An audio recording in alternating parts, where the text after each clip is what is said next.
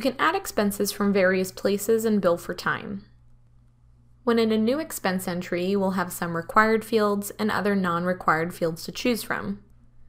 The six required fields in an expense are client, which you can click in to pull down the client dropdown. You can type in the client's name, or you can add a new client from here if you have access to do so. Your project, which may say something different like matter or case or whatever the mnemonic was changed to in your settings. Expense type, which can be fully customized description, and your cost and sell price.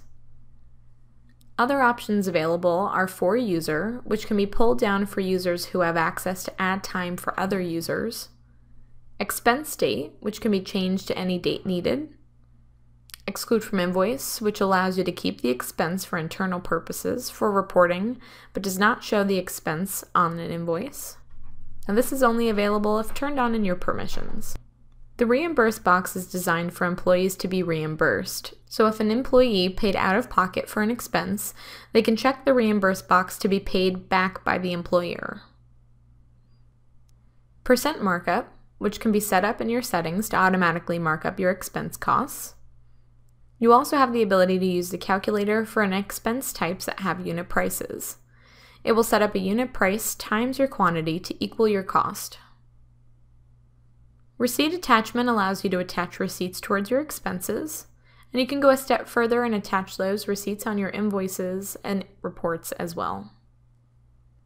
You have three saving options at the bottom. Save and duplicate allows you to save your entry, but keep everything filled in on your screen. This comes in handy if you have to add the same entry details over and over, or you need to add more expenses to the same client. You can make your necessary changes and save it again and again as needed. Save and New allows you to save the entry but clear it so you can start over again. And Save and Close means to save the entry and close it down. Thank you for watching the Bill4Time Add Expense tutorial and continue watching for the different ways to add time tutorial next.